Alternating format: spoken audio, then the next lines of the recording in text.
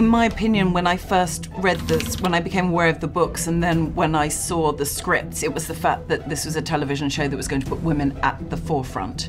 We were going to explore female characters in a way that conventionally doesn't happen. We were going to look at them in a, in a three-dimensional way. We would explore their darkness, we would find them complex, and we would spend more time on them, and they wouldn't simply exist as the mother role, the girlfriend role, or the wife role, or the sister. They would be people in their own right. So I think putting women to the fore is what has changed, actually changed the platform for television now.